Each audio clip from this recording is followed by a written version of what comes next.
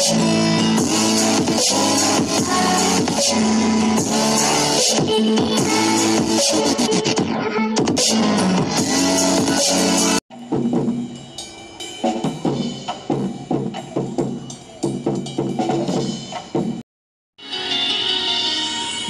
kaya na sa kabila ng pagkapanalo ng Pilipinas sa pagkiklaim ng mga pinag-aagawang teritoryo sa West Philippine Sea laban sa China ay hindi pa rin natitinag si Xi Jinping na presidente ng People's Republic of China?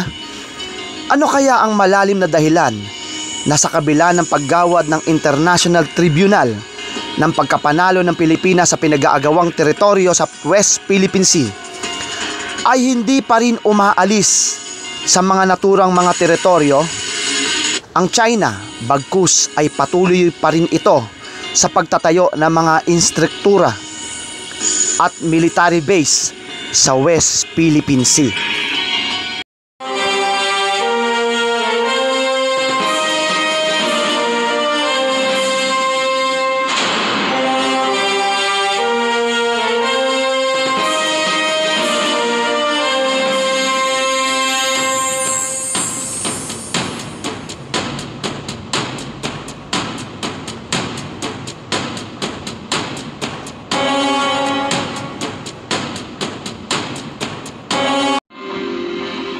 Simula pa lang noong unang siglo ay marami na ang nagtangkang maghari sa buong mundo at palakihin ang kanilang mga nasasakupan. Libong taon na ang nakararaan kung saan marami na ang nagtangka na maghari at magdomina ng buong mundo. Si Alexander the Great ay isa sa mga nagtangka upang sakupin ang lahat ng mga bansa mula sa Mediterano hanggang sa known world o mga bansang nalalaman pa lang ng mga tao noong panaong yahon. Ayon sa history, ay makikita nating naging kaugalian na ng mga bansa noong unang panahon na magpalawig at kilalaning makapangyarihan. Kaya't lahat ng bansa na kaya nilang puntahan ay nakikipagdigma upang masakop at makuha ang lahat ng kayamanan nang sa gayon ay maging makapangyarihan. Maging ang Imperyo Romano na sumakop sa mga bansang napapalibutan ng dagat Mediterano sa Europa, sa Hilagang Afrika, at hanggang sa kanlurang Asya simula pa lang noong unang panahon, noong 27 BC o bago magkatawang tao ang Kristo hanggang 476 AD. Halos limandaang taong naghari ang imperyong ito na galing sa Roma na bagamat maliit na imperyo ay nag, nung mag-umpisa ay nagawa nitong mapalaki at maging makapangyarihan noong panahong yaon.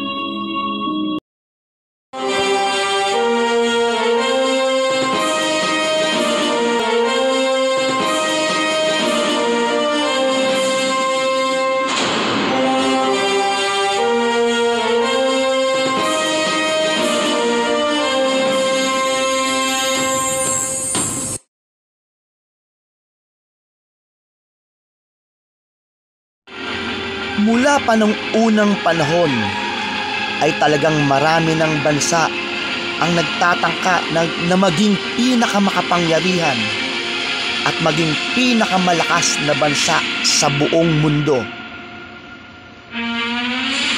At sa panahon natin ngayong ikadalawamput isang siglo, ang bansang Amerika ang kinikilala na pinakamakapangyarihan sa lahat ng mga bansa at ang Amerika ang nagtataglay ng pinakamalakas na puwersa ng militar kumpara sa kahit ng mga mayayamang mga bansa sa panahon natin ngayon. Pero may isang bansa ngayon na kinatatakutan dahil halos pumapantay na ang lakas ng militar nito kumpara sa lakas ng militar ng bansang Amerika.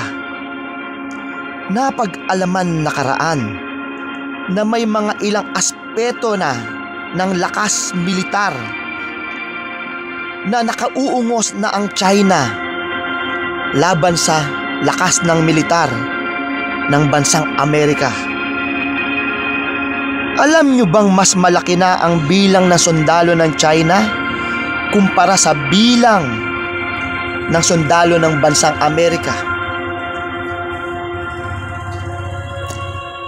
At, at napapansin din ng ilang mga bansa at maging ng mga international media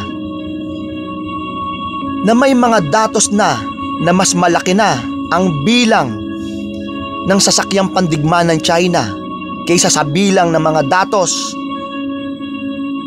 na dami ng mga sasakyang pandigma ng bansang Amerika. Dahil sa mga lumalabas na mga datos na yaon, ay napansin na ng iba't ibang mga bansa maging ng mga iba't ibang international media na halos pumapantay na ang lakas ng militar ng China kumpara sa pinakamalakas na bansang Amerika. E ano ngayon ang lihim ng China kung bakit ayaw nitong umalis sa West Philippine Sea?